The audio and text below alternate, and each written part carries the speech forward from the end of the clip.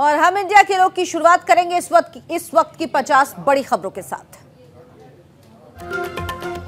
UP चुनाव से पहले कांग्रेस को लगा बड़ा झटका। दिग्गज नेता आरपीएन सिंह ने कांग्रेस से दिया इस्तीफा। आरपीएन सिंह ने कांग्रेस से इस्तीफा देकर ज्वाइन की बीजेपी। यूपी चुनाव प्रभारी धर्मेंद्र प्रधान ने पार्टी में किया स्वागत। प्रदेश अध्यक्ष स्वतंत्र देव सिंह भी मौजूद रहे।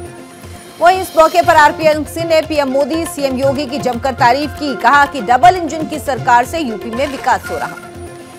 आरपीएन सिंह ने कहा, पीएम मोदी ने काफ़ी कम समय में राष्ट्र निर्माण का काम किया। यूपी में सीएम योगी ने कानून व्यवस्था में सुधार किया।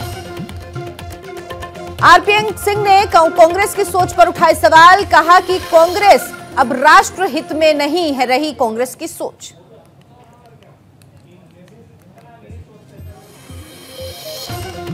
सीएम योगी का अखिलेश यादव पर हमला, कहा जिन पाकिस्तान, जिन्हें पाकिस्तान दुश्मन नहीं लगता, जिन्ना दोस्त लगता है, उनकी शिक्षा, दीक्षा और दृष्टि क्या है, क्या कहा जाए।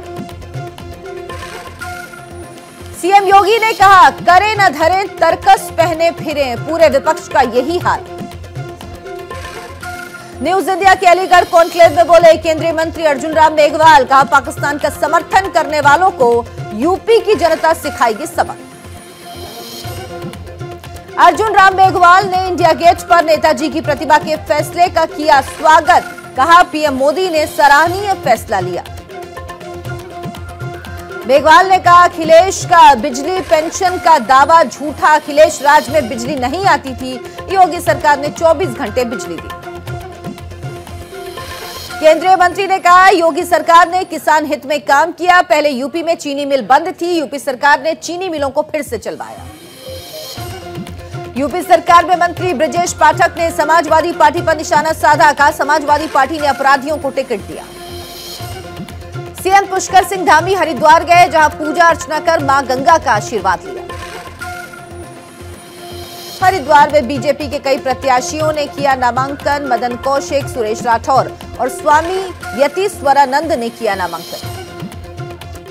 देहरादून में कांग्रेस के चुनावी थीम सॉन्ग पर पार्टी के वरिष्ठ नेता जमकर थिरके, हरीश रावत, प्रीतम सिंह, छत्तीसगढ़ के सीएम रहे मौजूद। उत्तराखंड कांग्रेस ने चुनावी थीम सॉन्ग और चारधाम चार काम उत्तराखंडी स्वाभिमान कैंपेन लॉन्च किया। भूपेश बघेल ने देहरादून में इस कैंपेन की शुरुआत की। दिल्ली के मुख्यमंत्री अरविंद केजरीवाल ने कहा, दिल्ली में 100 फ़ीसदी लोगों को पहली डोज दी गई, बयासी फ़ीसदी लोगों को दूसरी डोज दी गई। लगता है ये पूरे देश और दुनिया में एक रिकॉर्ड है। उन्होंने कहा, बूस्टर डोज भी बहुत तेज़ी से लग रही, हम जल्द ही कोरोना प्रतिबंधों को हटाएँगे, उन्होंने कहा। दिल्ली सरकार के सभी ऑफ़िस में बाबा साहब अंबेडकर और शहीद भगत सिंह की तस्वीर लगाई जाएगी। समाजवादी पार्टी ने एक उम्मीदवारों के नामों की घोषणा की। समाजवादी पार्टी के सुप्रीमो अखिलेश यादव मैनपुरी की करहल से लड़ेंगे चुनाव। कैराना से जेल में बंद नाहिद हसन बनाए गए सपा प्रत्याशी स्वामी प्रसाद के बेटे का नाम समाजवादी पार्टी के लिस्ट में नहीं। बंगाल में बीजेपी को लगा एक और झटका, अभिनेता बोनी सेन गुप्ता ने पार्टी छोड़ी, बीजेपी बोली, नहीं पड़ेगा कोई प्रभाव। महाराष्ट्र के वर्धा में भीषण सड़क हादसे में बीजेपी विधायक के बेटे समेत सात मेडिकल छात्रों की दर्दनाक मौत। छात्रों की कार की रफ्तार तेज थी। ड्राइवर के नियंत्रण खोने की वजह से हादसा हुआ। कार नदी के पुल से अनियंत्रित होकर नीचे गिरी। हादसे पर पीएम मोदी ने दुख जताया। जान गंवाने वालों के परिजनों के लिए प्रधानमंत्री राहत कोष से मृतकों को दो दो लाख और घायलों को पचास पचास हज़ार मुआवजा देने का ऐलान। केंद्रीय स्वास्थ्य मंत्री मनसुख मांडविया ने कोरोना को लेकर की राज्यों के साथ बैठक कल समय से भेजे कोविड टेस्टिंग और वैक्सीनेशन डेटा।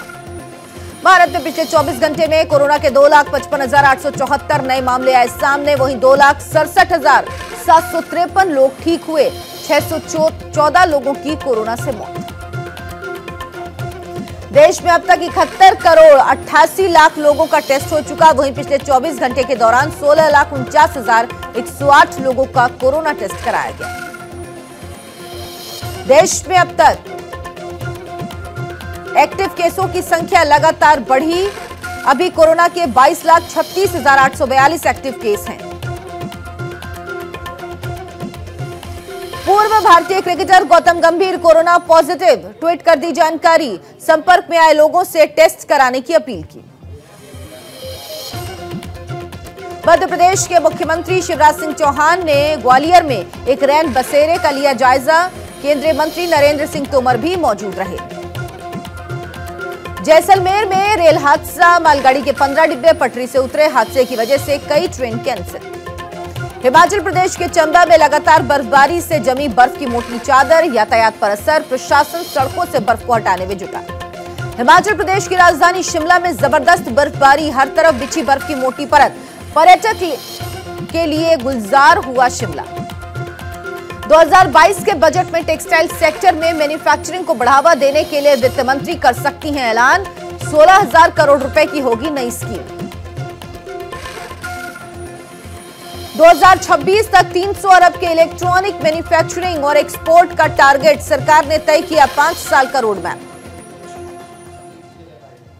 जर्मनी के हीलबर्ग में गोलीबारी कई लोग गंभीर रूप से घायल। पुलिस ने हमलावर को किया ढेर। रूस और यूक्रेन में युद्ध का काउंटडाउन शुरू। अमेरिका ने कीव से अपने दूतावास के स्टाफ को वापस बुलाया। ब्रिटेन के प्रधानमंत्री बोरिस जॉनसन ने रूसी राष्ट्रपति को दी चेतावनी, बोले, अगर रूस यूक्रेन पर करता है हमला, यह दर्दनाक और खूनी खेल होगा। रूस यूक्रेन ताज़ा हालात पर अमेरिका राष्ट्रपति की नई पहल, यूरोपीय यूनियन के नेताओं से बात कर तनाव कम करने पर चर्चा करेंगे।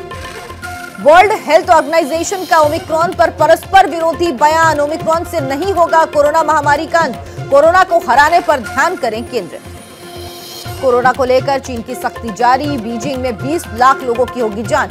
शियान में एक महीने बाद हटा लॉकडाउन गणतंत्र दिवस से पहले गोल्डन बॉय नीरज चोपड़ा को मिलेगा वीरता पुरस्कार। राष्ट्रपति रामनाथ कोविंद करेंगे सम्मानित महिला एशिया कप फुटबॉल में भारत के सभी मैच रद्द। कोरोना संक्रमण की वजह से फैसला, खिलाड़ियों ने कहा, सब कुछ तबाह हो गया।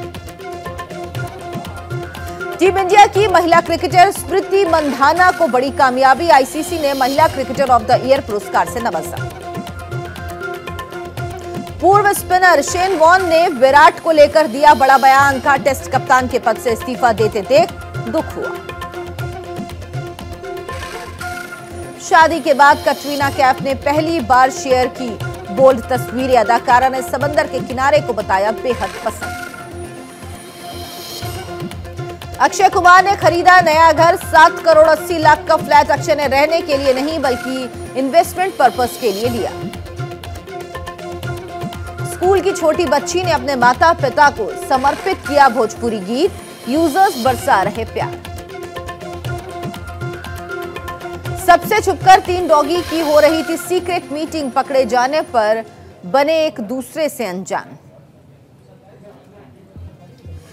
बिना मतलब टाइगर से पंगा ले रहा था डॉगी, चंद सेकेंड में बाघ ने डॉगी को दबोच कर बनाया शिकार।